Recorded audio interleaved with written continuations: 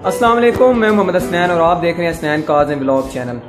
जैसा कि आपको पता है कि पिछले कुछ दिन पहले मैंने बाइक की वीडियोस अपलोड की थी तो उन्हें लोगों ने बहुत ज़्यादा पसंद किया और काफ़ी उनके कमेंट्स आए और उनके कमेंट्स में एक बात बहुत कॉमन थी कि इस बाइक के बारे में बताया जाए कि बाइक कैसा है, हम इस बाइक को ख़रीदें या ना ख़रीदें। तो आज की वीडियो मैं इसीलिए बना रहा हूँ उन्हीं भाइयों के लिए जिनका, जिनके क्वेश्चन थे कि ये बाइक कैसा है, एवरेज कैसी है, इसकी प्राइस तो ये तमाम तर बातें इसी वीडियो में डिटेल करेंगे कि इसकी अब प्राइस क्या है, तीन महीने पहले प्राइस क्या थी और इसमें कौन कौन सी प्रॉब्लम्स आ जाती हैं, इस बाइक की मटेरियल कैसा है, चलने में कैसा है और आपकी इसकी प्राइस क्या है। ये तमाम तर बातें मैं इसी वीडियो में आपको डिस्कस की जाएँगी और आपको बताऊँगा।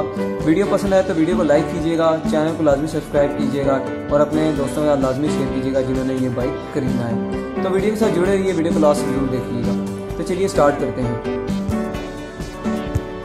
अच्छा जी, प्यारे दोस्तों, ये बाइक मैंने आज से तीन महीने पहले लिया है, मार्च के महीने में, ठीक है? तीन चार महीने हो गए इस बाइक को मेरे पास। और ये बाइक उस वक्त मैंने जो इसकी प्राइस मार्केट में चल रही थी, तकरीबन सिक्सटी फाइव थाउज़ेंड का हमने बाइक लिया था कैश पर, ठीक है? और अब अगर मैं इसकी प्राइस की बात करता हूँ तो ये बाइक इस वक्त अभी मार्केट में मैंने कुछ दिन पहले पूछा था तो seventy seven seventy eight thousand इसकी डिमांड कर रहे थे अप्लाइड फॉर की। अब उसमें सी फाइव में मैंने ये लेकर इसमें नंबर भी लगवाया, तकरीबन पाँच हज़ार रुपये का नंबर है और इसके जो टैंकी टापे चेंज करवाए हैं, तकरीबन तीन हज़ार रुपये के ये टैंकी टापे भी मैंने लगवाए हैं। इसी के साथ साथ अब कुछ भाइयों की क्वेश्चन थे कि इसकी एवरेज इसकी एवरेज मेरे प्यारे भाइयों, एक लीटर पे तकरीबन चालीस किलोमीटर इजीली देता है, मैंने खुद चेक की है, ठीक है? एवरेज का कोई इशू नहीं है। इसके बाद अब ये जब न्यू बाइक लिया तो इसमें कुछ मिसिंग थी और इसमें एक फॉल्ट भी आया कि इसका क्लच बैरिंग आवाज़ कर गया था। तो फिर मैंने क्लेम सेंटर गया हूँ, उनका उन्होंने बताया तो उन्होंने इसको बिल्कुल मतलब सही कर दिया है, इसका बैरिंग वगैरह भी डाल दिया और इसकी जो मिसिंग थी वो भी बिल्कुल ठीक होगी तो इसमें एयर फ़िल्टर चेंज किया तो इसकी मिसिंग बिल्कुल ठीक होगी थी। इसके साथ साथ जो मुझे इसमें सबसे बुरी चीज़ लगी है, वो इसके ग्रिप है।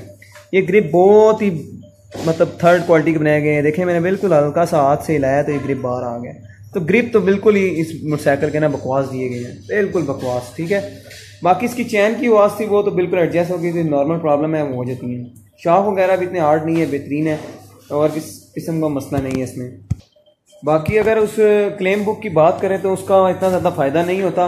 अगर आपने ट्यूनिंग करानी है बाइक की तो आप किसी भी मकैनिक से करा सकते हैं, ज़रूरी नहीं कि आप क्लेम सेंटर लेके जाएँ। वो इतनी तवज्जो नहीं देते और अच्छे तरीके से बाइक की जो है ना ट्यूनिंग नहीं करते। तो मेरा तो मशवरा यही है कि आप किसी दूसरे बंदे से करा लें थोड़े पैसे लगाकर, आपका बाइक ठीक हो जाएगा।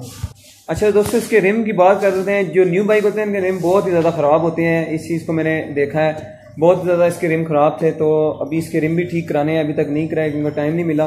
तो अब मैं किसी दिन इसके रिम भी ठीक करा दूँ। काफ़ी ज़्यादा ख़राब है। मतलब अगर एक भारी बंदा पीछे बैठ जाए तो का, मोटरसाइकिल काफ़ी ज़्यादा वाइब्रेट करता है। तो इन चीज़ों को मद्देनजर रखते हुए मैंने यही प्रडिक्शन की है। अगर आज से तीन महीने पहले ये बाइक तकरीबन सही रेंज में था लेकिन अब इस बाइक की प्राइस बहुत ज़्यादा होती जा रही है। बाकी लास्ट में आपको यही कहूँगा कि ओवरऑल ये बाइक बहुत अच्छा है, ठीक है। अगर आपकी रेंज है तो आप सेवेंटी निकलवा सकते हैं होंडा का, लेकिन अगर आप अफोर्ड नहीं कर सकते तो मैं आपको रिकमेंड करूँगा कि आप यूनियन स्टार ले लें और जल्द अज जल्द ले लें, क्योंकि इसकी प्राइस दिन ब दिन बढ़ रही है। मैंने बाकायदा दो मोटरसाइकिल निकलवाए थे, इकट्ठे एक लाख बत्तीस हज़ार रुपये के, एक मेरे छोटे भाई का और एक ये मेरा है। तो हमने इसीलिए निकाले थे कि ये महँगे हो रहे हैं। तो बस आपको भी यही कहता हूँ कि अगर आपने बाइक लेना है तो जल्द अज जल्द ले लें। बाकी बाइक बेहतरीन है जी, चलने में भी ठीक है पेट्रोल एवरेज भी ठीक है। यही सब कुछ है इसमें और अगर आपके इसके अलावा कोई कमेंट हो तो वीडियो में ज़रूर बताइएगा, ताकि मैं उसका भी आपको आंसर कर सकूँ। बहुत शुक्रिया, अल्लाह हाफिज़।